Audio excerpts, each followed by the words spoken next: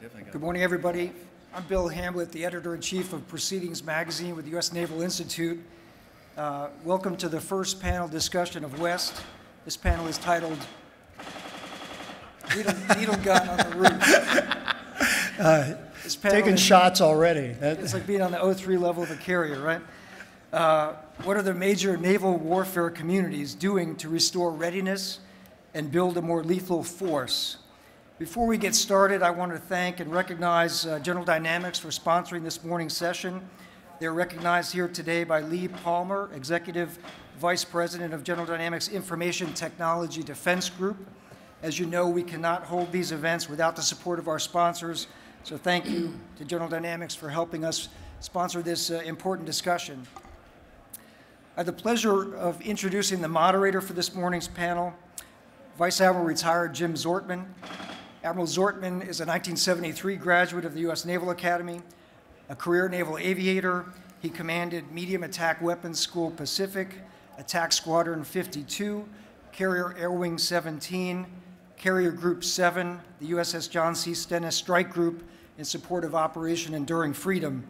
His final assignment on active duty was as Commander Naval Air Forces, or the Air Boss, here in San Diego. Admiral Zortman is a leader who understands being on both sides of the provider and user sides of readiness and lethality, which makes him a great candidate to be our panel moderator today. So, Admiral Zortman, over to you. Thanks, Bill. Uh, Appreciate that, and uh, we're gonna, we're gonna get right into things. Uh, There's a number of you out there in the audience that uh, sit in these things, have sat on these things, Uh, so it's a, it's a well-informed and I think uh, an active group. This is a great panel, I think, to kick off the, uh, the the West Conference this year. Uh, For those of you that heard CNO, uh, he uh, made a motion, and it carried nearly unanimously to get past thinking about lethality and thinking about improving readiness to what are we doing. And it, I'm, I'm going to, uh, we're, we're a little bit ahead of CNO. Uh, we've we spent some time uh, talking to each other over the last week or so, and that was exactly the tack that we decided to take. Uh, we're going to do uh, a little bit different here. We're not going to spend a lot of time introducing everybody that's up here.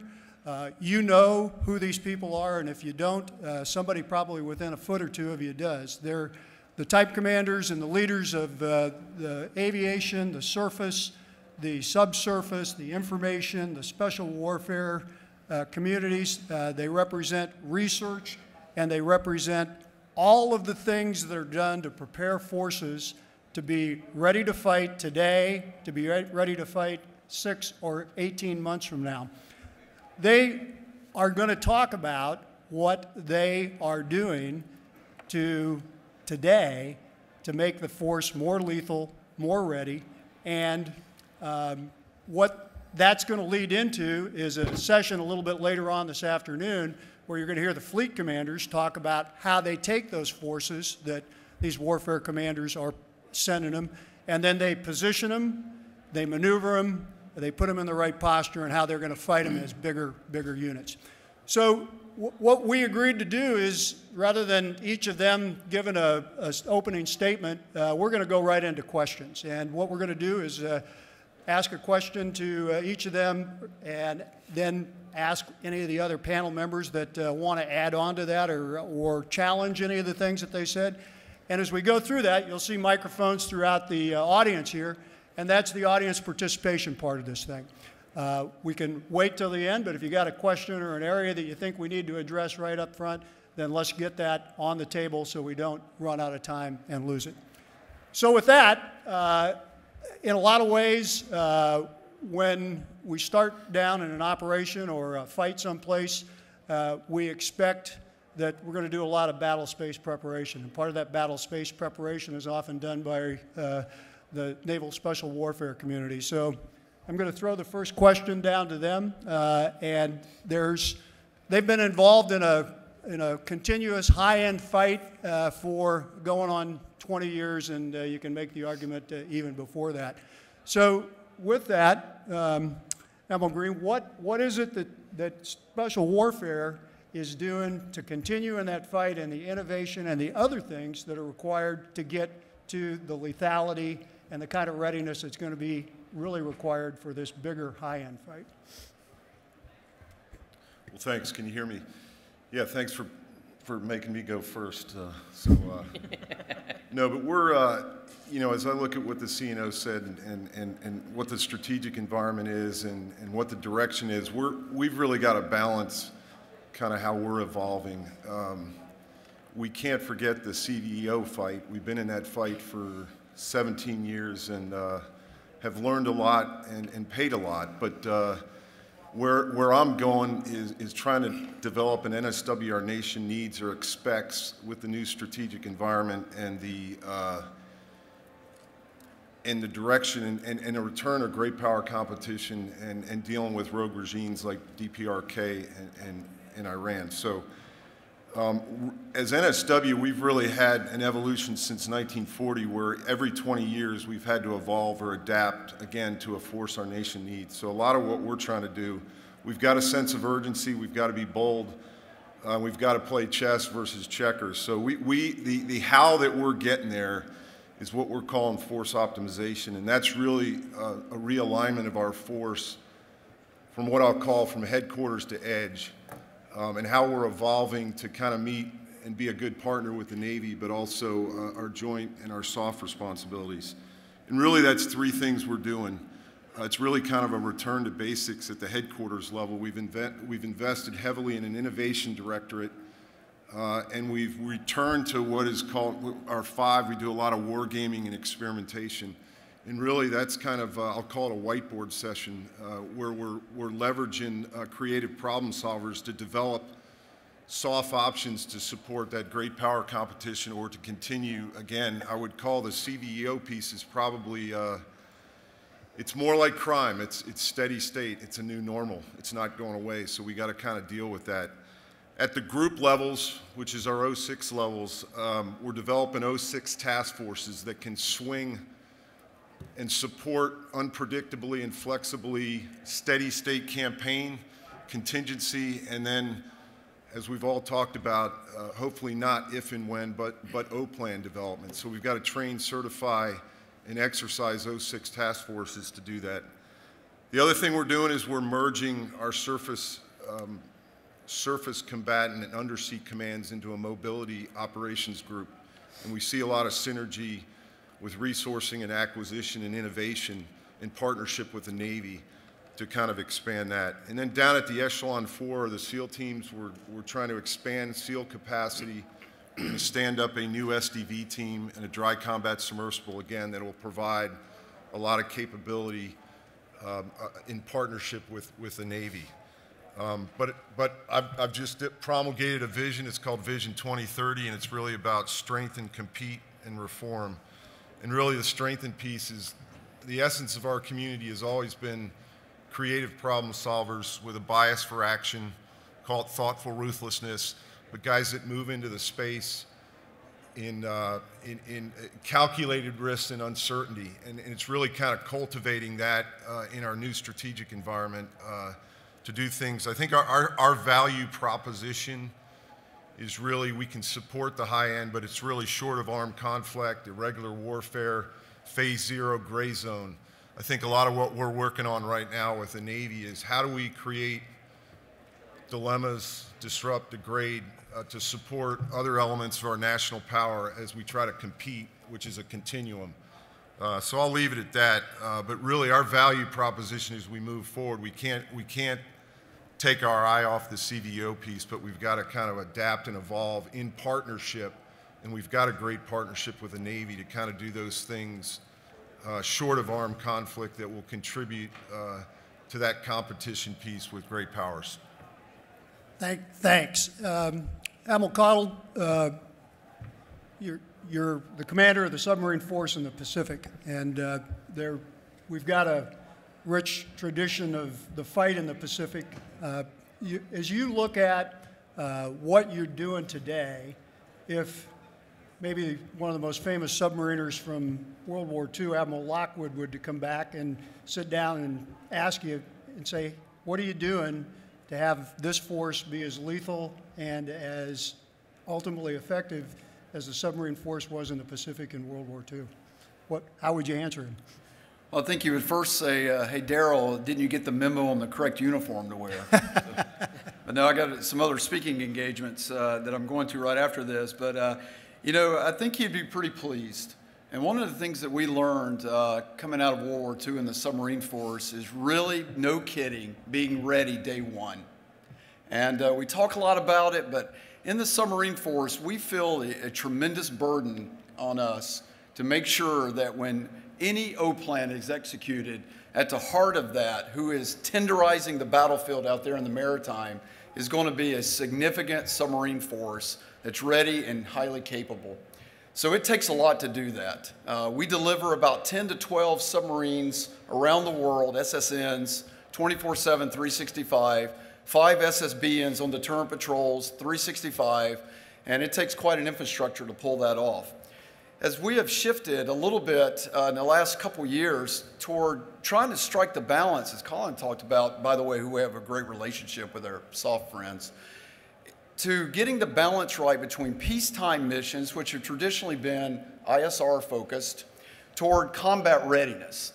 And we've done a lot of things to do that. And I'll just go through a few of those very quickly. First, we want to expand well beyond ADCAP and TLAM. So when it comes down to it, you know, the CNO talked today about the blurry line of the different phases of uh, conflict, but eventually they all go kinetic.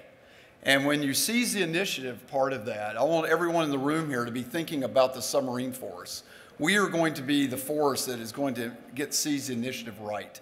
And so we are bridging a gap to our maritime strike uh, Tomahawk in the interim with bringing Harpoon back. And so we decommissioned that system a, about a decade and a half ago. And um, um, we made a decision that we still needed a little bit more standoff capability. So we tasked our technical community to build a system to bridge that into our combat control system.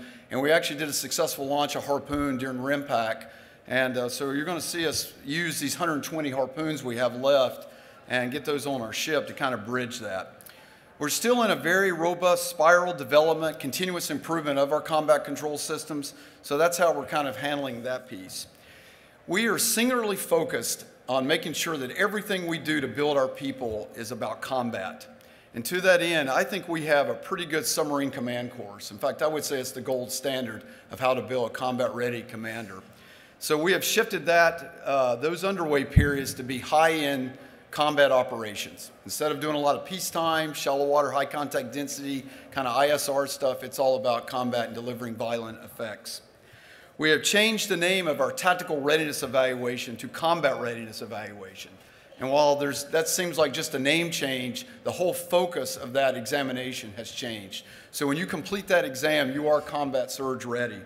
And then the last one is we've developed a CO and EXO curriculum to try to make that level of command smart on our O plans.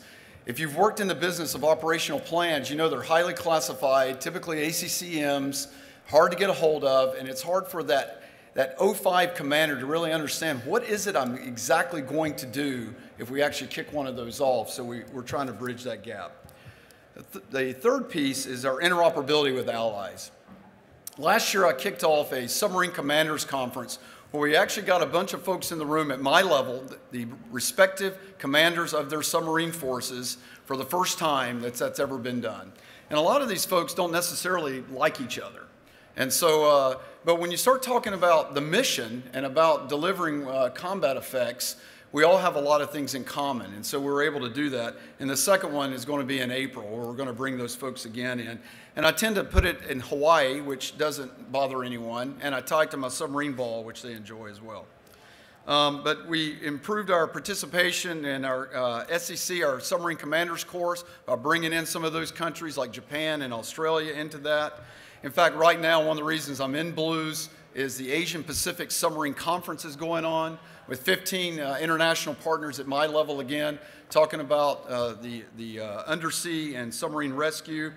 And we just completed exercise Gray Lady, which we actually had the opportunity in our static range at our uh, noise facility uh, up in SEAFAC to actually mate our undersea rescue capability to an actual uh, Virginia class submarine, the first time we've actually proven that that capability exists. And the last thing is just very robust tactical development. we are fielding so many things in the submarine force that are autonomous, things that we can launch out of every opening in that submarine. And to command and control that and learn how to employ that effectively in the combat environment is a big piece of that. And we're pushing that down to the squadron level and letting these commanders at the major commander level figure out this and being kind of an expanded brain trust of how to go after that. Seabed warfare is a big piece of that. So you're going to see a huge initiative coming from the undersea on how we actually develop target sets and understand how we can actually fight in the seabed warfare of that part of our domain as well. So that kind of wraps it, sir. Okay. Uh, Admiral Brown, uh, there, there's an environment that uh, naval forces have always operated in, in information, and it's how to move the right information, communicate it when it, don't get it lost in a stovepipe. The, the stand-up of the information warfare community and the information warfare commander has been hotly argued in a lot of corners. So could you tell us a little bit about what information warfare is doing to make the force more lethal and more ready? Right. I'll, I'll- thanks. Can you hear me? It's way over there. Point it this way.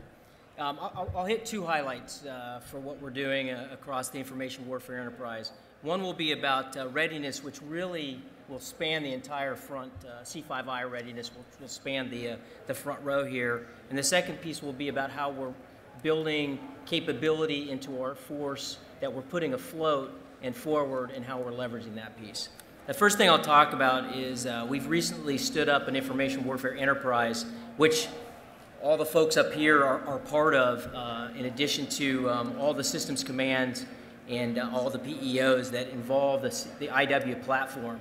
When you think about the information warfare platform, which has to span uh, cyber, SIGINT, intelligence, meteorology and oceanography, it's the backbone network, um, it's the tactical data links, uh, and you think about that holistically and trying to create a continuum. It go, it spans from shore, it spans to sea, it's the human element, it's the machine element, it's the spectral element, and it's the data element.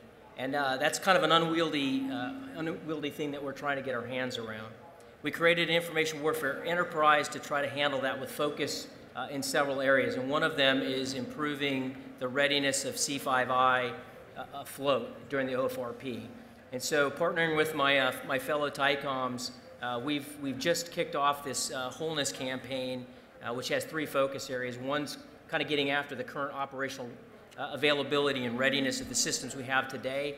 Um, that's primarily being led by our FRD par- partners at SPAWAR, um, but we're, uh, we're moving out and trying to figure out how we align uh, to the various maintenance and, and modernization uh, plans to keep those on track uh, and aligned with the resource sponsor and the PEOs. A second area we're working on is in uh, what would be considered like the design area or the, the wholeness and capability, partnering heavy with, with SPAWAR and E PEO C4I on that. It's about the design element of the equipment we have out, uh, out, out there, how we spare to it, how we do maintenance against it, and some of these other things that have not been normalized, I think, in the C4I arena um, uh, completely. And in that in that vein as well, we're reaching out across into the PEO, IWS, and uh, NAVSEA arenas to try to link the combat system side more tightly to the C4I side because it really is a single continuum from battle space awareness to targeting. And lastly, we're trying to get our processes together and understand the C2 of how we generate IW readiness. Um, I tell you, any, at any given point, there's about 57,000 uh, information warriors out there that we count. Um, I have under my domain only about 19,000 of them, so the, the remainder of them are in these gentlemen's uh, uh, uh, areas for uh, man train and equip as well as the joint force. Uh, so I have to be able to kind of leverage leverage that. So we're going after that in a big way, uh, working through this process that we're calling the C5I wholeness, and I'll be happy to take more questions on there. The second thing that we're doing uh, with re- regard to developing lethality in the fleet is really centered around the information warfare commander afloat concept. Uh, we've been after that for a couple years, uh, solidifying how we are generating those information warfare commanders afloat. And today, um, I think we, the very last I would call legacy IWC, which was really the N6 on board, an IP officer, the rest of them are all now screened um, officers who've gone through 100 day training tracks and tailored to uh, their backgrounds. Uh, they represent every specialty in the information warfare community. So, oceanographers out there, I have intelligence officers out there, IPs and CWs, uh, standing those. Um, as, as I've been following the, uh, the backside of all the post deployment briefs, most recently I got one from uh, Admiral Gene Black coming back off Harry S. Truman and uh, kind of the first dynamic force employment. Uh, to, a, to a T, every, every uh, commander's coming back and, and basically talking about how that capability that we're generating out there is really bringing to, in, together and harnessing um, the facets of the information warfare community in a way that we haven't been able to do before and providing them the, the, the maneuver space and the posturing that they need for the high-end fight um, from, from port uh, to, to uh, uh, forward deployed areas. And so that's a, we're really getting after that. So General Wortman, uh, Admiral Lockwood left the room and uh, General Smith and General Vandegrift showed up and they said, okay, uh, here we are, number of years later, uh, you're running the warfighting lab, you're the assistant uh, for naval research, and they ask you the question, what, what is it that you're doing in the Marine Corps today to be more lethal and ready than they were when they were fighting it out on Saipan and Guadalcanal? Yes, sir. Appreciate the question. Uh, again, appreciate the opportunity to uh, to be with you. Uh, I'd emphasize just a couple of points, sir, and uh, really kind of uh, uh, reinforcing Admiral Green and Admiral Caudle. Um, you know, mindset and focus matters an awful lot. So Secretary Mattis, National Defense Strategy, said, hey, we're back in the business of great power competition. we've got high-end adversaries, and we have to respect their capabilities.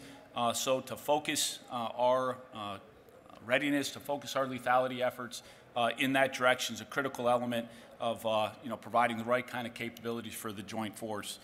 Uh, so the Commandant in the uh, uh, Marine Operating Concept uh, cited a couple of things that we think are particularly important.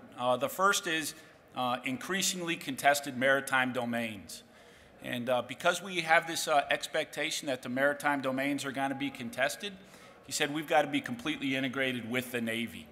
Uh, so we're back in a big way to the business of applying Fleet Marine forces uh, in support of uh, uh, sea control campaigns, in support of maritime operations.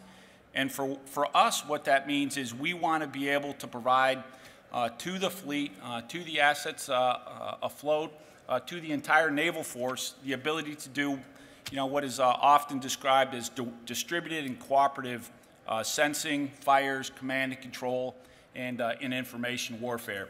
So for all the type commanders and all the uh, uh, warfare specialties that are represented here, we want to be able to sense the environment for them and we want to be able to benefit from the sensing uh, that they're doing. Uh, we want to be able to shoot for them uh, in a third-party cooperative manner or we want to be able to have that, put them in a position where they can take a shot uh, off of our sensors.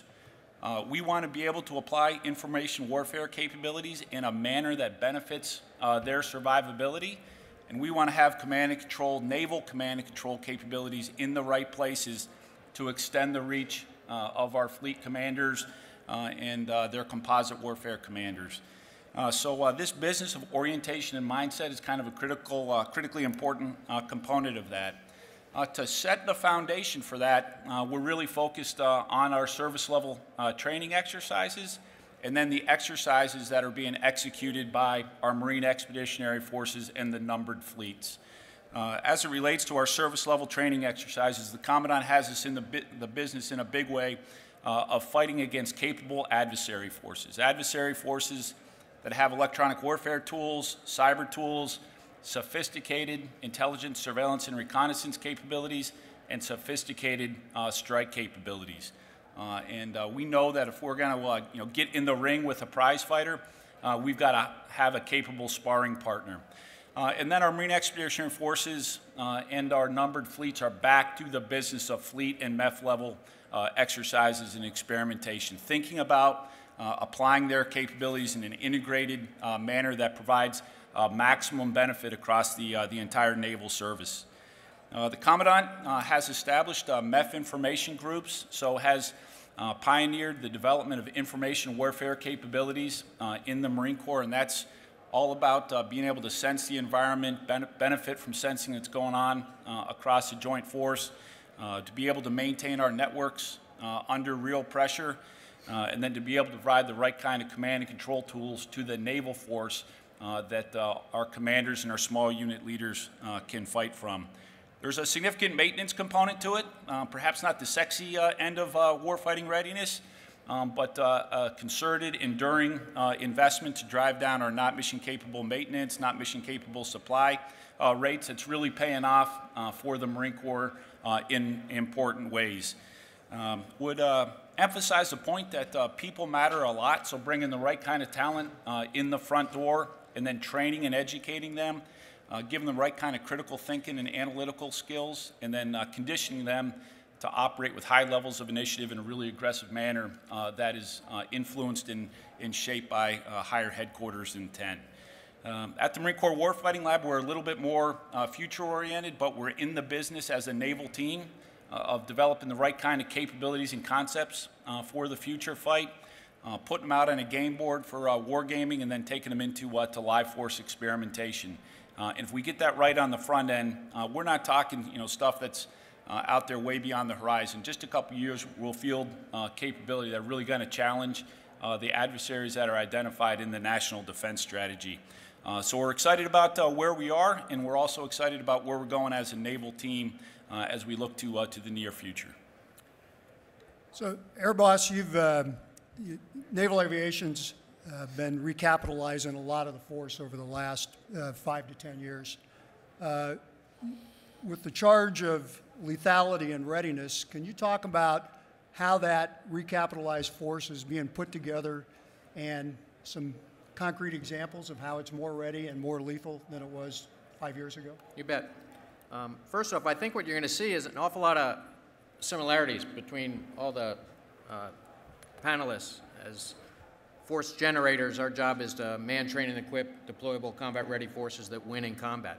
And that whole vision and what aligns us, as General Wortman just talked about, is that um, national defense strategy that said, hey, uh, let's get more lethal and, and let's be ready for that high-end fight. And so you're going to see the activities that we're doing to prepare for that uh, are going to be very similar in, in nature. So for us in naval aviation, what we really have been working on recently is developing our plan.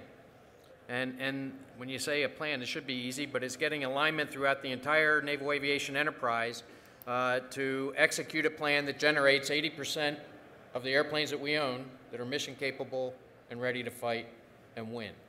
So to do that, we've been uh, undergoing an awful lot of reform. Uh, and we're reforming across the board. Uh, we're reforming, and we're calling the, the, this new reform effort, if we will, the Naval Sustainment Strategy. So that strategy will allow us to be able to not only uh, sustain the aircraft we have as we recapitalize, sustain the newly recapitalized aircraft, but be able to do that at a, at a rate that's at 80% of the aircraft that we own. The plan also involves um, alignment and governance. So we have to realign ourselves with respect to governance, and we're doing that with um, pillars and pillar leads, and I'll get a little bit more into that.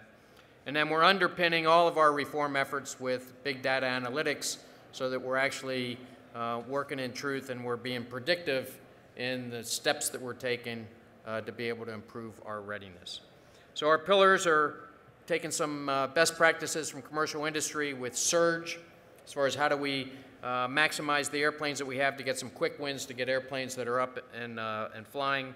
Uh, reform within our squadrons, uh, everything from the way we're uh, indoctrinating our sailors when they first report aboard to how we provide ready, relevant learning through them throughout their entire tour uh, in, in their squadrons. Through the way we maintain our airplanes uh, at our AIMDs and at our depots, and we're seeing significant improvements recently with uh, those reform efforts. Uh, also improving the way we do our supply chain and how we're repairing repairables, you know, broken parts, and how we're uh, buying uh, our, our new parts for the airplanes that we have. And then engineering reform as well, everything from reliability control boards that get into our components uh, to how we're responding and providing engineering support throughout the force. So all of these efforts uh, are, comprise our plan. Uh, our activities are aligned to that plan, and then we hold ourselves accountable to that plan. With respect to recapitalization, uh, interesting, just walking the, the floor today, you can see examples of that recapitalization uh, with an awful lot of new metal, with P8s replacing our P3s, with uh, um, continuing to upgrade our MH60s and our F-18 series F-35s with VFA 147 just uh, uh, becoming safe for flight, our very first F-35C squadron, and that'll be joining our air wings very soon. Uh, to go back to the lethality piece, then all those tactics as we bring fifth gen and fourth gen together, if you will, we kind of commonly call to that as uh, Gen 9 uh, air wings that we're going to be having soon, those tactics, techniques, and procedures to make and maximize lethality within our air wings. Uh, the Growler continues to uh, e- evolve and, and add into that lethality. And then, um, of course, adding our unmanned aircraft with MQ-25 onto our flight decks as well as Triton, which will EOC later this year. So everything from that the other TYCOMs have talking about as far as maximizing what we have today, uh, recapitalizing for the future, training our sailors and our aviators and our warfighters to be able to, to better um, fight, and then the integrated nature with which we fight is gets into how we all work together to increase our lethality in the future. Admiral Boxall, you've uh, here pinch hitting for Admiral Brown, and uh, so you bring a, a different perspective in that you're coming from Washington. I'm going to ask you to take your Washington hat off and talk about what the surface force in the lessons they've learned and what how they're applying them for a more ready force today based on some of the challenges you've had to face over the last year. Right, Roger, thank you, sir. And also thank you for letting me go last, and also for sitting in the straddle seat here between the two tables. That's awesome. but uh, It's the world you live in. so it, it really is. It's symbolic, isn't it? Um, and, and actually, it is. Uh, whether you're in Washington or whether you're in the waterfront in Norfolk or, or San Diego or uh, Japan, uh, we do have a very clear direction in both the Navy, the nation needs, which is really more my lane, and that future force of generation of capability and capacity, uh, and then the Navy the nation has, and how we're taking what we have in execution in the next year to two to try to get what we can out there and change the way we're doing business to get after. Uh, I was also wondering which uh, World War II admiral you were going to uh, make me t- talk about, but uh, I appreciate you not doing that.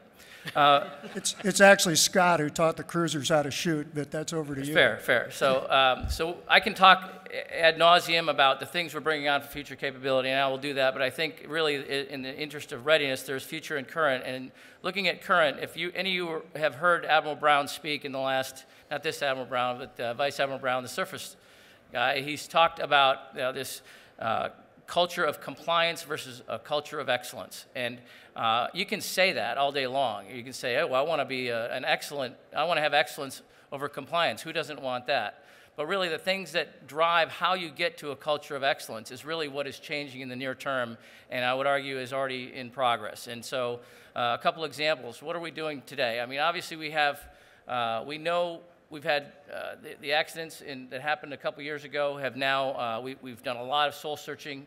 Uh, there have been a lot of uh, money, over a billion dollars, in, in things that will get out there very quickly improvements to radars, training, fidelity. Um, but I think that kind of pales in comparison to really the, the sea change we've had in returning back to basics, uh, as someone I think Daryl talked about. Uh, this is something that I think has gotten everyone's attention. As you look at the great power competition and this kind of uh, slap in the face of we've got to do more and better with what we have to get after uh, improving our capability as best we can today. We can't wait to do it as to this new capability comes out.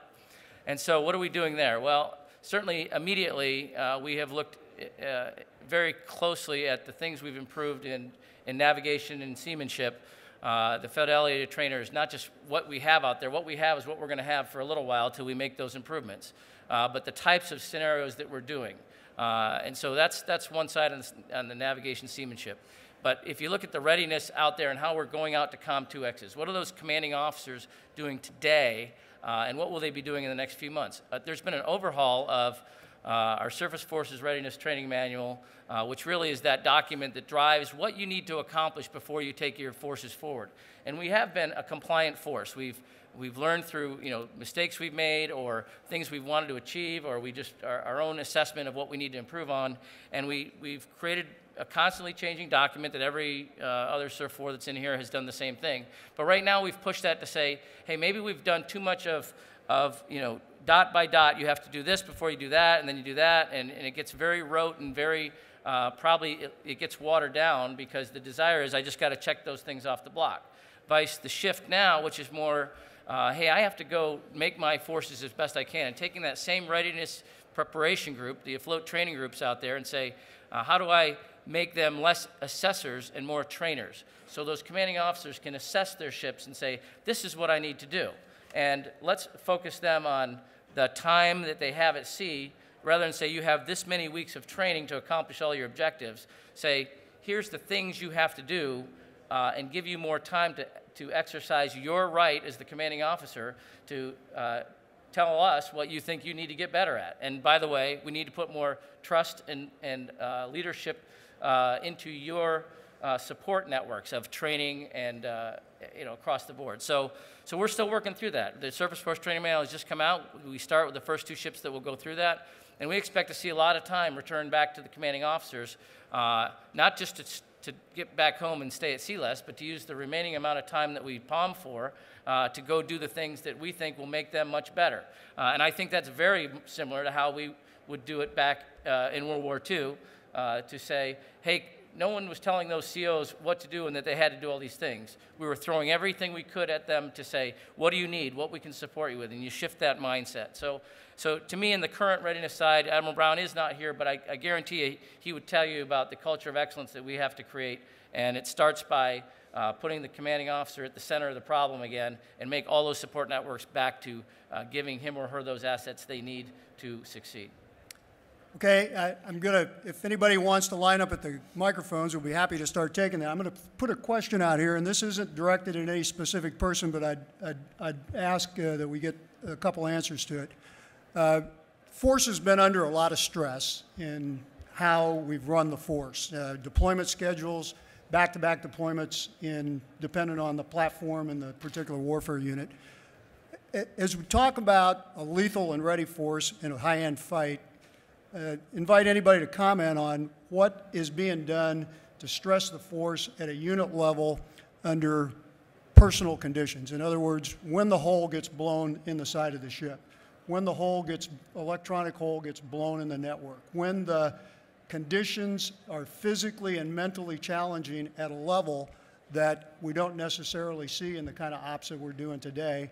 Uh, there's always exceptions to that, but are there significant changes being made in the way that we're preparing and then training at the level that you're working at to address that kind of a scenario? And whoever wants to go first can go first. I'll kick it off. You know, that is one of the toughest things to do, uh, is how to create a tough and resilient sailor that knows how to uh, handle the, uh, the eventuality of taking a round, uh, the eventuality of having a main space fire or flooding in one of our ships or, or uh, aircraft, how to not be in the fetal position in the corner when that event occurs, but man your panel, and, uh, and work through that. So how do you do that in peacetime? It is a challenge.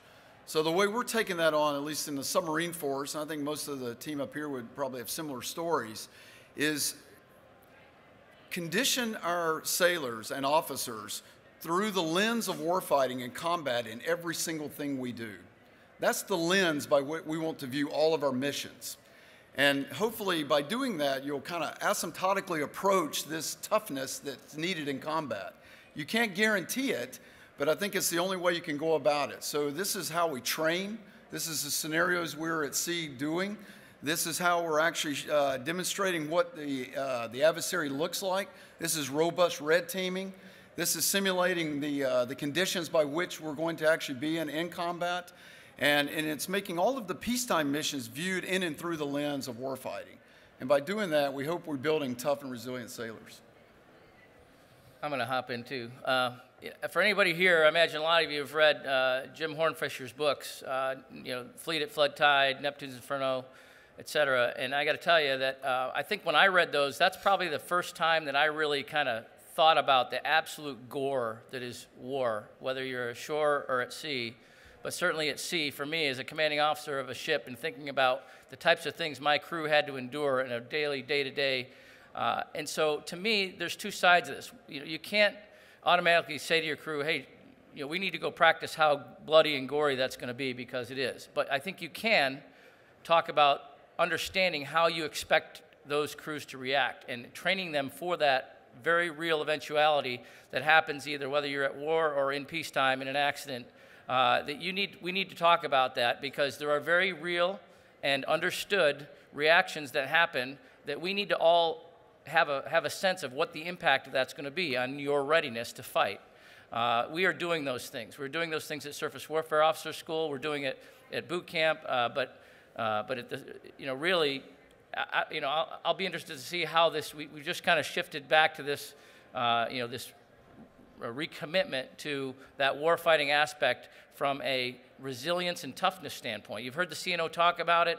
Um, when you start getting down to uh, the detail of it, it is very, very tough. Uh, it's tough to go through. Uh, we're te teaching our commanding officers uh, how to get through training at SWOS uh, in conditions that I didn't have to go through in training, which, which were going to be in sleep deprived conditions. They're going to be through uh, stressful conditions of a lot of things happening at once, like it will happen when it happens for real. Uh, is it going to mimic exactly what they'll see? Probably not. Um, will it uh, give us an opportunity to understand that we will see huge differences in performance and that expectation and to be prepared for those things? I think the answer is absolutely yes. Uh, as we go down this path, I think it will get better. I think we will get better with the ability to uh, simulate some things, but you can't simulate uh, uh, death and destruction. Uh, so, so there's, there's pieces to this that I think we, we do have our crew's attention. The, the, the MCPON has moved to, to a very um, proactive strategy with the, with the chief's messes, and uh, he wants them to be prepared at the deck plate level, uh, taking lessons learned from both uh, recent examples and World War II examples. Just to pile on just a, a, little bit, Ron, you, not to have much to add to that, but there's a saying that says your performance in combat never raises to the level of your expectation, it always falls to the level of your training. And I think, you know, we've seen that play itself out over and over and over. So to the point of realistic training, to the point that National Defense Strategy says high-end fight, let's prepare, uh, it, it, does involve that leader development. It involves the sailor development. It involves the mental discussions that we're having with our sailors on a daily basis with our leaders. And that's all folded into leader development strategy that every single one of us has in every single one of our communities. And I think you'll see great alignment along that. Okay. Let's take a question from the floor. Hi, Justin Katz, Inside Defense. Uh, Admiral Caudle, if I could single you out, I'm sorry. Uh, you briefly hit on the fact that the Navy is going to start uh, recertifying the harpoons for the SSN uh, 668, uh, 668 class uh, as kind of a bridge for whatever the next Tomahawk is going to look like. could you lay out a little bit more on that in terms of what the way forward is? I guess specifically, uh, you know, are there plans to start re-exercising that capability once you've worked out the recertification with Boeing? And also, you know, at least from the media perspective, it's not clear uh, when that next Tomahawk is, is going to start taking form. So how, how long do you expect this bridge to last? Thank you. That's, um, to the time period on the bridge, I mean, I expect that to be, you know, in the in the five-year kind of time frame. So that's the kind of numbers we're talking about. Um, integrating this uh, capability seamlessly into our combat control system, uh, which now is kind of a standalone capability that we had to do kind of as a one-of to make sure we could communicate to the weapon, take uh, off-hull targeting, and actually execute that mission through uh, the Harpoon system is um, was kind of a, a, demonstration that's now going to go into the production in our next combat control spiral development. So you'll see that uh, kind of being rolled out in our normal time frame that we do that. So we do about seven submarines, five to seven submarines uh, a year. Uh, if I had to, I could put the temporary system on uh, any of the 688 combat control systems and, uh, and, and field that quicker. But that's the kind of uh, rollout plan that I think you'll see the mix in the torpedo room, which is uh, obviously uh, We're always trying to get that balance right of what we've got in our torpedo room between ADCAP torpedoes, uh, berthing modules, and uh, other special equipment that we're doing for special missions, and now Harpoon being brought into the mix. Uh, that's going to be a delicate balance based on what the mission planning is and the expectation of the respective COCOM and where that submarine's being deployed. So, um, but that's hopefully gives you a sense of that. So I'm expecting to see that kind of kicking off in the next year, and we're talking maybe about five to seven submarines will get that in their next spiral development, the capability to shoot Harpoon. Sure. If I might just uh, pick up on that, I wanted to highlight, you know, the Commandant has been pushing us uh, very hard in this business of long-range precision fires, and certainly maritime fires are a really important component uh, of that. So talked in uh, opening remarks about, uh, you know, the Marine Corps operating as a fleet marine force in support of uh, assets at sea, wanting to be able to cooperatively deliver fires in support of sea control.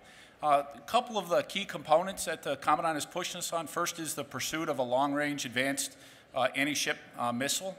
Uh, he is an impatient man, a man of many uh, positive qualities, but uh, you know, so we're talking a relatively near-term capability that we're making a significant investment in now. the second is the ability to apply loitering munitions, you know, multi-mission, multi-payload, that kind of expand some options for combined arms, what we would describe as combined arms effects uh, against a, uh, a, target. And then the third is uh, aviation delivered ordnance. And uh, uh, F 35 opens up some really uh, interesting and valuable space, we think, for the Naval Force. And the F 35C in particular, because of its enhanced payload and some of the unique weapons that it's able to apply, they're a little bit different than what the B offers. But in the same manner that the submarine forces wants to expand its range of options, we're thinking about uh, Marine Air Ground Task Forces from uh, land-based locations uh, able to support those kinds of requirements as well. Admiral Daly, you have a question. Well, thank you, Admiral Zortman. Um, on behalf of the Naval Institute and AFCEA, we thank the panel. Quick question. You know, when you look back at uh, what we've been doing, a fairly permissive environment. If you were a Marine fighting in the streets in Fallujah, you didn't think it was too permissive, but those Marines didn't have to deal with a lack of air cover or control of the logistics that supported them. On the Navy side, we sent P3s over land to use their EO/IR capability and lost perishable ASW skills. There's examples like that in the air-to-air skills on the aviation side, uh, whether it's Navy or Air Force. Have we developed a couple generations of naval officers and Marine officers who don't, haven't been had, held accountable to the multi-dimensions required of the full up lethality warfight that's been discussed so much already here this morning. In other words, they've only had to think through a couple aspects of the problem, but not the full integrated problem. So we've talked about toughness and resiliency and how difficult that is to instill. How about changing that mindset when it's really, we've really been there almost since the uh, end of the Cold War? Yes, so I'll, uh, you know, with regard, we're, we're, we're struggling with a term, well, we're, we're trying to redefine the X, redefine the target. So we're thinking more about, uh, you know, that the, the target is not only the physical, but it's the virtual and the cognitive piece.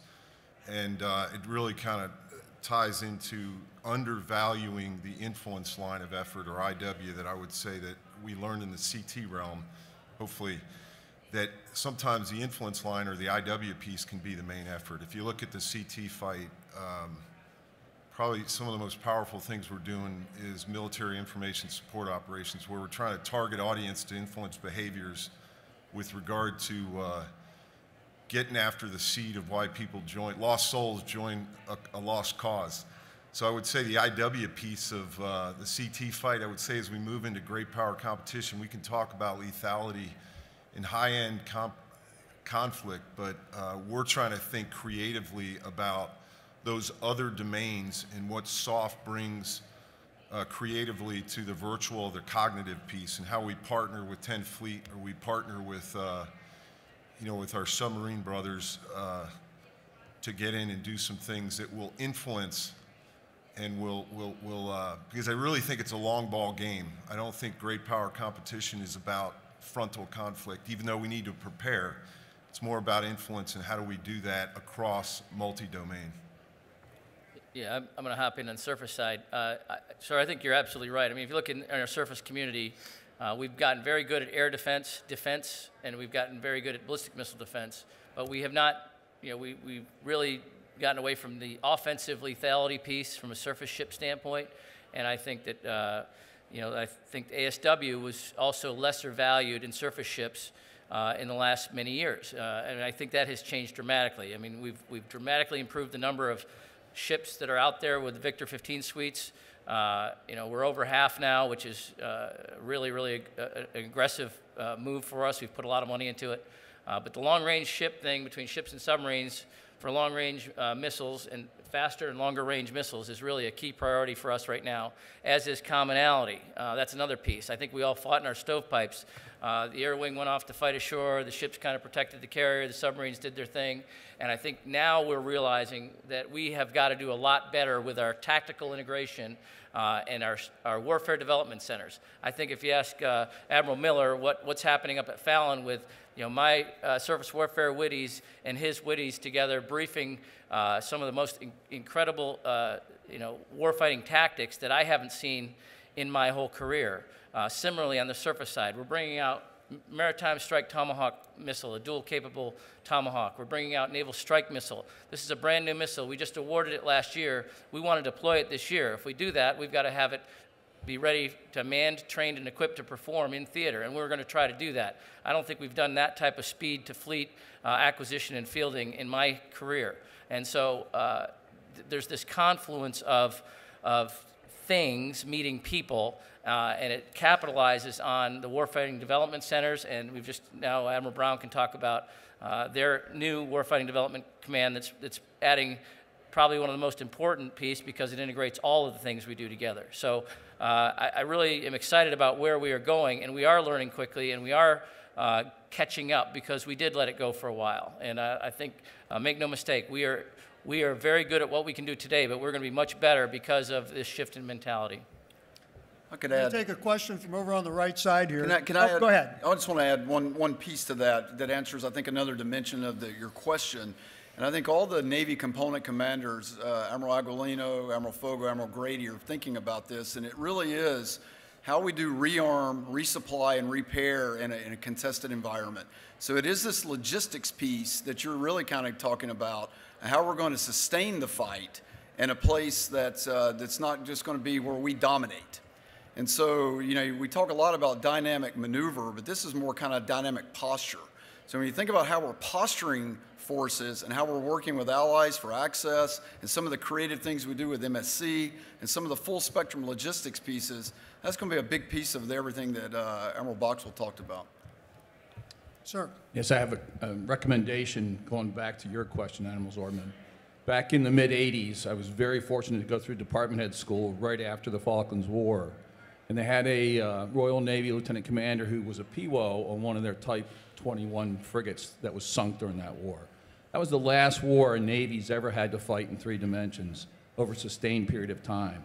And what was fantastic about the four hours we spent with this man is he had 35 millimeter uh, slides that he took throughout that entire uh, war. And uh, it, I would suggest that it might be good to reach out to the Royal Navy for their um, experiences um, and bring that into, back into SWOS because it was fantastic. The question, oh, go ahead. the question I have is after the sinking of the Cheonan, there was a lot of effort put on by the Navy to fix torpedo defense. And I'm curious, do we think we've gotten after that Achilles heel? Is, Well, I do a lot of torpedo defense in my portfolio. So one of the key elements to torpedo defense is, is uh, knowing where the bad guy is in the first place. And, uh, and so we, we are very good at those types of things, and obviously cl- unclassified for them. Uh, one of my concerns for ships and for submarines is, you know, as we look at as we look at the adversary submarines, their threat is shifting from torpedoes to cruise missiles, very, very long ranges, uh, and and that's kind of in the great power side uh, a threat that's you know to me now something that you know they don't have to come in within very close range; they can now do it at very, very long range.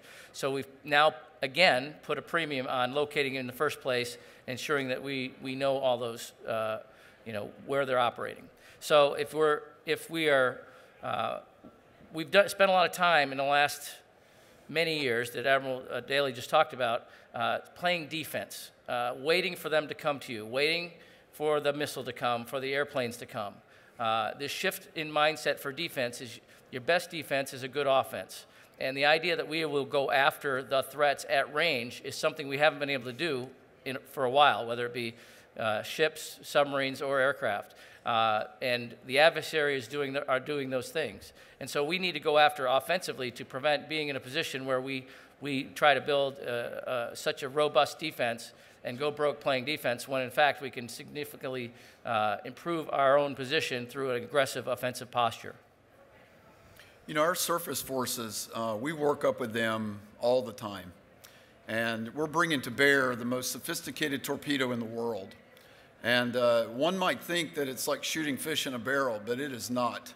Uh, our Arleigh Burke destroyers have a, very good sensor suite, very good sonar, very good radars.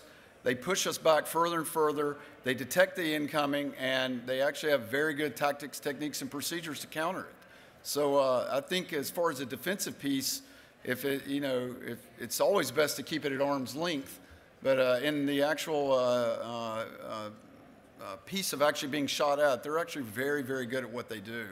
And, and that comes from a lot of practice with us. I'll tell you, with the uh, integrated nature with which we fight, you know, then bringing in the, you know, aviation side of that puzzle with H-60s and P-8s, um, and then how we train to that fight, I, uh, I, I, think it's definitely an area that has our attention and, can, and as it should, and uh, uh we continue to evolve how we fight uh, so that we're ready to win that in that environment.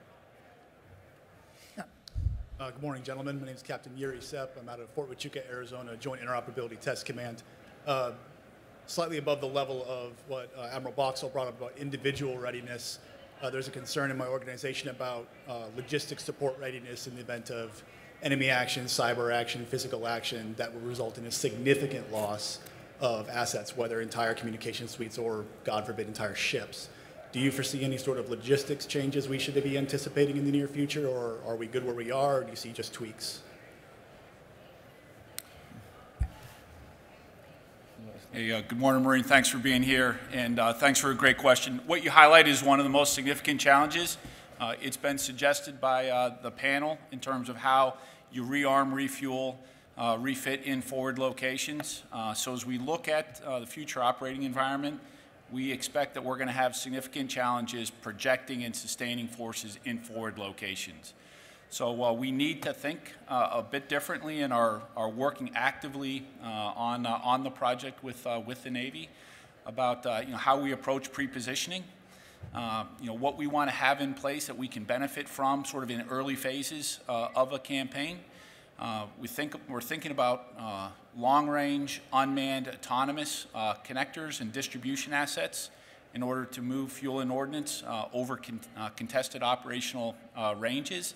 Uh, and then uh, we're thinking about how we apply different combinations of amphibious assets and other elements of the fleet in order to be able to benefit from their ability to move fuel and ordnance and then tie into the, the embarked MAGTFs connectors, you know, to kind of close the last uh, tactical miles with the delivery of fuel and ordnance.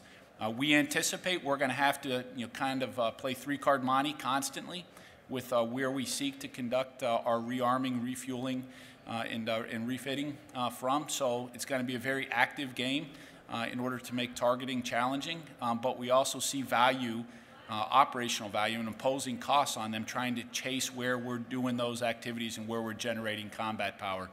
Uh, so kind of to the broader point, it's a, a different operational uh, game and different operational challenge.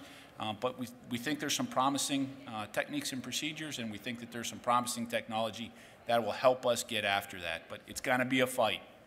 Hey, can I add? Um, so one thing we're looking at that this may support your point is is the vulnerability of the blue in protecting uh, some of the things we take for granted in great power competition. So we're calling it identity management a need to, uh, you know, increase CI, OPSEC, force protection, and, and then digital footprint in those, I would call, you know, tail portions of the tooth.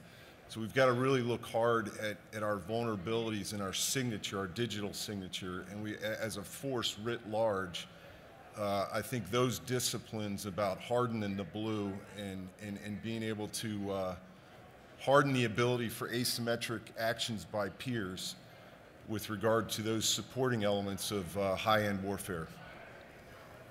Yeah, I'm going to hop in from ship. I mean, distributed maritime operations puts a premium on logistics. Uh, so if you're going to operate your forces like we do today, and we're going to spread them out, it just makes sense that you've got to have more of those things to, to do that. But there's another side of this. Is one is your own vulnerability as a force, and one of the things in the surface side is you know we could keep putting all kinds of systems on every ship and make it you know this this impenetrable force, and that's going to be a very expensive force. Or we can go the other way and say we can put out a lot of unmanned uh, systems out there that, and expect that you will take some casualties, but you will, you'll, the network will prevail. And so I believe that there's two, two prongs. We got to get better today on the, uh, on the former model because, and I think we know that. How we get them, uh, again, you know, Admiral Daly is one of the things that probably took, took, uh, took a beating over the last couple decades was our logistics force and the recapitalization. However, it also presents an opportunity of doing things in a different way.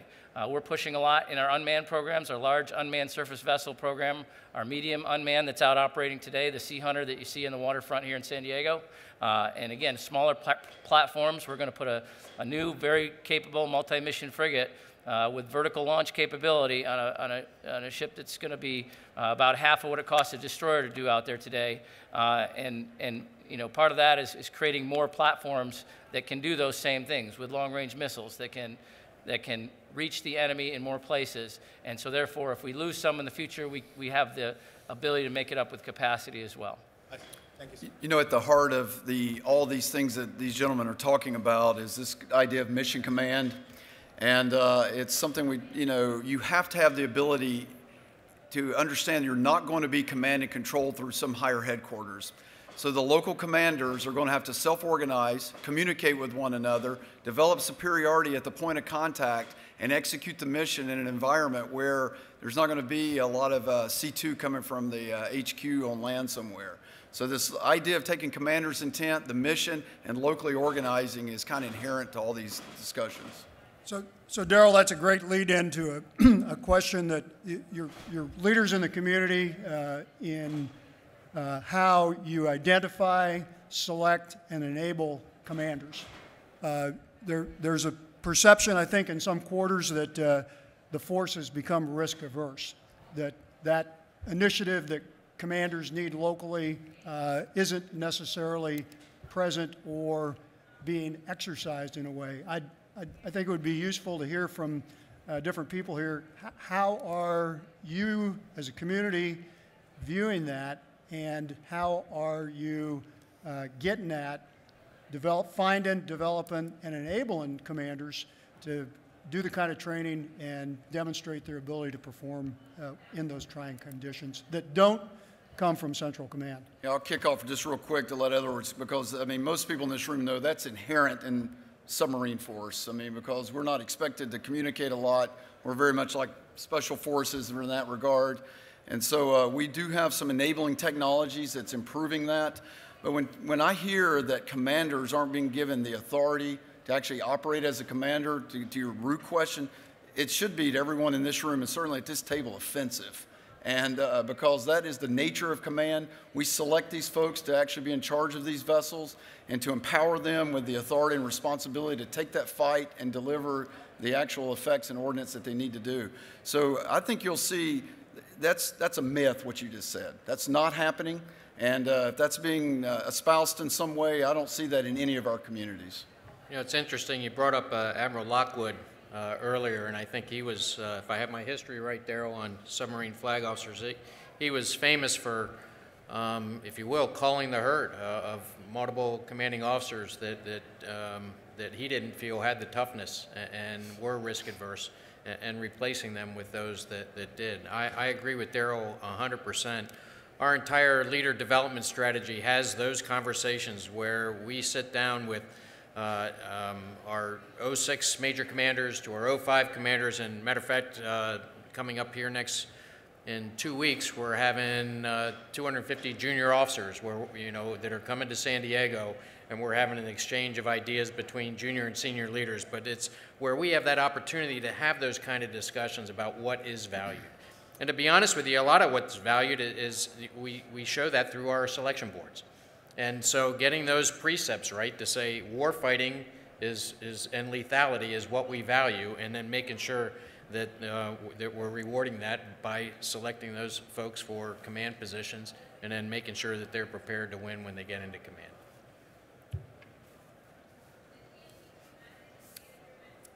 Hi, uh, Geoff Ziezulewicz with Navy Times. Uh, Rear Admiral Boxall, this question's for you. Uh, you talk about the surface fleet uh, returning to a culture of excellence. My question is, when is the rest of the fleet, when are the American taxpayers, when are the parents of these kids going to see proof of these reforms? You, you know, uh, Senator King at a hearing yesterday asked Admiral Davidson about this and said, where is the metrics? You know, where is the data? You know, GAO reported a few months ago that sailors are still working 100 hour weeks out in Japan.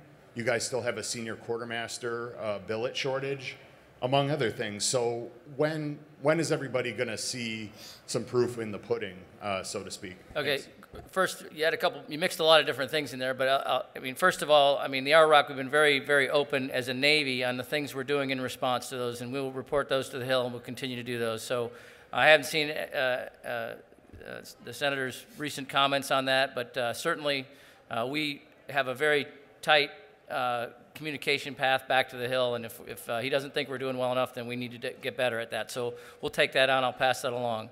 The, the, the other piece, you talked about some of the outcomes and the metrics and what we're using. I mean, we, you know, first problem one is to figure out what you're going to change, and then when you change, is that making a difference? Uh, you brought up Manning, a very tough problem. This is not something that generated today. You can't grow a senior chief tomorrow. That you, you know, I, we, truth in advertising is that we were billeted uh, and funded for about 98% manning uh, in the surface fleet. So the billeting and the funding of the billets was not the problem. We do have some distribution issues in, uh, so that was manpower in manning of actually getting the people where they need to be, and that's a very real problem that we're going to have for a little while, and every one of us up here is going to have to endure that. Uh, it will take years to, to, to rectify that. Um, so, uh, in a broad sense, I mean, we uh, did a lot of work as a Navy, led by the, you know, the VCNO and the Undersecretary of Defense, or correction, Undersecretary of the Navy, uh, leading us every week uh, in this uh, readiness, uh, this review in the RROC, um, that we have a very clear lines of accountability uh, and that is continuing to work every day. That has not stopped. Uh, it's not going to happen overnight. It's going to take us some time to, you know, we have to move money, we have to make changes, and then we have to just see what it works. So it will take time, um, but we do already have some metrics in the near term of things that we're doing uh, and the, and the, the, the points along the way that we are increasing the uh, quality of the, of the types of training that we're doing, the number of hours, the, the fidelity. Uh, we can show you those things, but it's going to take time. We got to buy more systems. We got to get higher fidelity trainers, and that's not going to happen overnight. So uh, appreciate the question. I, you know, we we want to be as open and transparent about this as we can be, uh, and I, you know, we have our money's where our mouth is. As I said, we've got over a billion dollars in these types of issues in the near term. Uh, they'll bear fruit here soon for us, I'm sure, to increase that. Any encouraging metrics you can cite offhand? Uh, I, I can't offhand. I mean, again, man, train, equip, and those things are really not necessarily my lane, uh, but, but we have them. I just don't have them personally, uh, but I certainly can pass that along to the waterfront. We'll, have, we'll get those. Whatever ones you, that you need specifically, you can let us know. I can, I can add one piece to that. It's, I can tell you that in the commander's update briefs that we have with Admiral Aquilino in the Pacific, there's not a ship or submarine that heads west that's not at the proper manning when it deploys. So we are green in manning before a unit gets underway. Now, that's, there's still shortages, and we have to manage that very carefully. But I can tell you the N1s of the world are, are under the thumb of our commanders to make sure that we are all up around from a manning perspective when a ship goes west. Sorry, I, I didn't answer your one question about the actual uh, the studies that have been done because that was tasking direct from the Hill. Uh, we have done those studies on surface ships, for example. We've increased the number of folks that are going to be on destroyers. You know, we've done in-port and underway work week reviews, and the result of that review means that we have a, a greater requirement for folks on destroyers. That's going to happen on submarines. It's happening on uh, carriers. It's going to happen uh, across the four deployed fleets. So So those will have an impact. I mean, it won't happen overnight, but uh, I can guarantee you that we will have more people on those ships uh, than we had even before at a very high manning level. So while the denominator will change, uh, you know, we may actually go down in the percentage of people we have on board, but the requirement will have gone up. Uh, more to follow on that. Those would be the metrics you should challenge us on, and I'm, I think you'll be happy to see that we are moving in the direction that we, we've been directed. Thank you. Admirals, I, I, I'm a Cold War submarine skipper, uh, fast attacks, and a great student of Jim Hornfisher. Uh, reading him, his battleships were unable to dislodge the Japanese at 5,000 yards on Saipan. Could we do Saipan again today?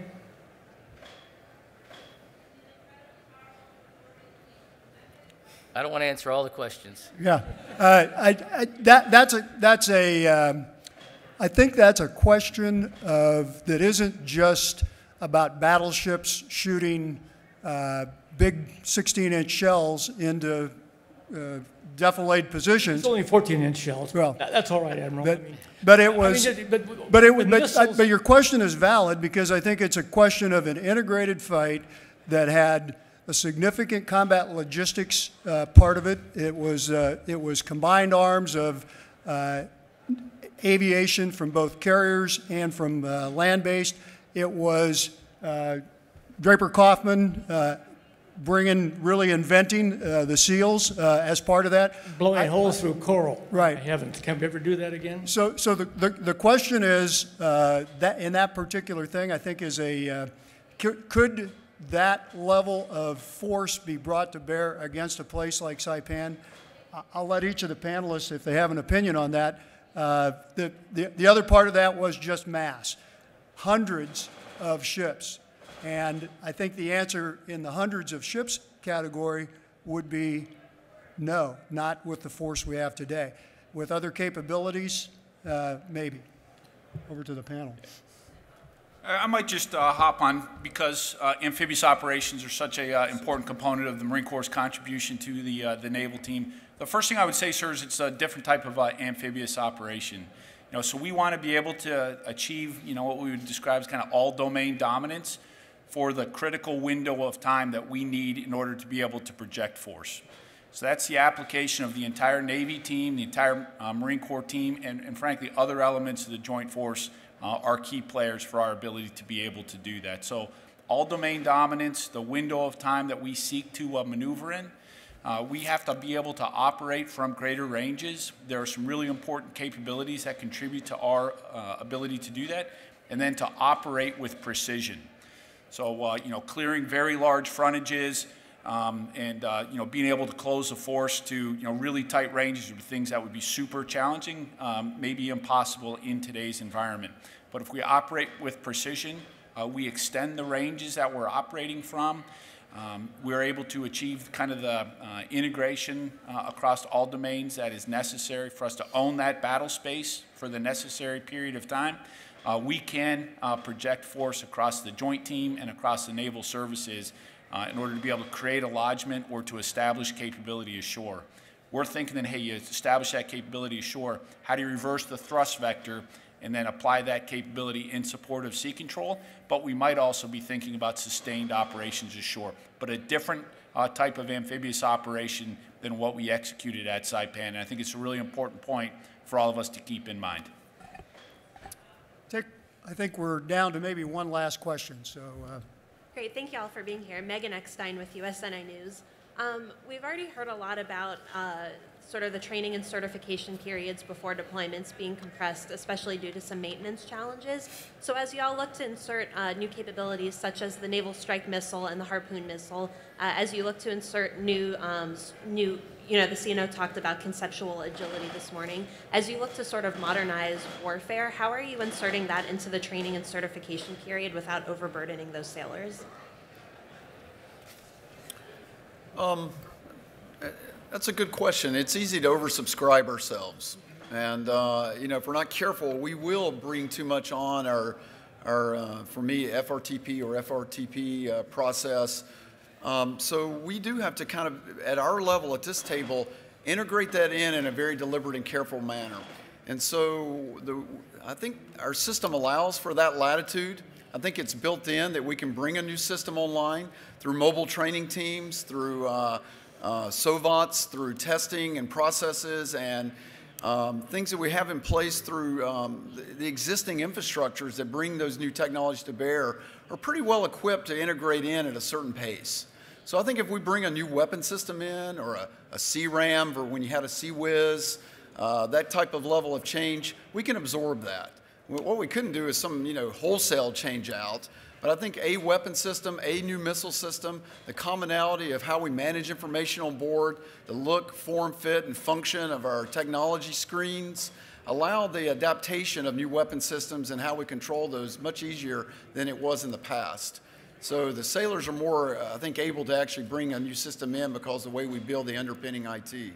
That's a fair criticism, Megan, but here, here's, you know, there's two sides, again, you know, you're going to have risk, right? There's risk by not having the new capability, and there's a risk of bringing that capability on at a pace that's too fast for the system, right? We want to find that right balance. But in the past, I, can, I think we have overstepped and waited till we had it perfect, till everything was in place and we put everything out there. And there's an opportunity cost to going slow. And we've not acknowledged the risk associated with that, whether it be in a shipbuilding program, an aviation program, or a new missile, whatever it is. Um, we just say it's got to be perfect, it's got to be there, and we got to have to have everything in place. I think we've got to aggressively challenge ourselves. This is a much faster adapting world than we have lived in, and it's only going to get faster. And in this high velocity environment, we are going to have to accept risks in some new places that we haven't in the past. I would argue that we should accept it in places where you're going faster. Okay, now we'll take the last question, really. Thank you very much, sir. Uh, Paul Szoldra from Task and Purpose. This is for uh, Admiral Green. Uh, sir, there have been a number of high profile cases uh, of SOF personnel uh, being accused or found guilty of professional or ethical violations. You had SEALs um, dismissed over drug use very recently. You've got SEALs currently under investigation on trial or on trial for murder charges. Um, head of SOCOM put, up, put forth a memo talking about ethical, um, ethical standards. I'm wondering what steps you're taking, sir, to get NSW off of the skyline, so to speak. And um, are these are these cases indi indicative of uh, a larger cultural problem? Okay, let, let's. The, the, the purpose of this panel is lethality and readiness of the force. And so, if there's a question in there about lethality and readiness of the force, I, I would I would say that readiness of the force uh, would include SEALs being ready to deploy and, and you know not being you know, uh, I agree. So, so I guess the question is uh, readiness of the SEAL force in terms of training challenges. Is Correct. that a, okay? Yeah, hey, that's a fair question. I appreciate you asking it, and uh, it is something I'm looking at hard. Um, you know, we, I, I, just commissioned, I had an 06 that came back from Iraq, so he just certified commander, and I had him look 90 days at what we're doing, what we're doing in the schoolhouse, uh, what, what we're not doing, what we're doing relative to uh, leader development and hard ethical decisions, combat ethics, to see if we're addressing that through our interdeployment training cycle. So we are addressing it, um, and we are looking hard as a learning organization uh, to self-assess to see, you know, are we assessing and selecting the right people? Are we holding them accountable to standards, honor, courage, commitment? So I would say we're on that. Uh, and uh, I, I, I, just chartered a 90 day assessment, like I said, and I'm going to get the results from him, and we will address those. We're really looking at um, you know, how we integrate that, that continuum of leadership development and hard discussions. We've been at war for 17 years, and, uh, and those are the things that we are looking, so we are on it. So I appreciate the question. It does affect readiness. Thanks, sir. Okay, Thank thanks. Okay, I think we're getting to the end of the time. Uh, I'd like to thank the members of the panel. This is a this is a tough business. Uh, they're they're in. Uh, they live at the crux of the stuff coming and the stuff we got today, and they're charged routinely with making sure the people and the equipment that's in the force is ready tomorrow, it's ready next week, and it's ready 18 months from now. So uh, I, would like to ask for a hand for uh, the panelists and the great answers.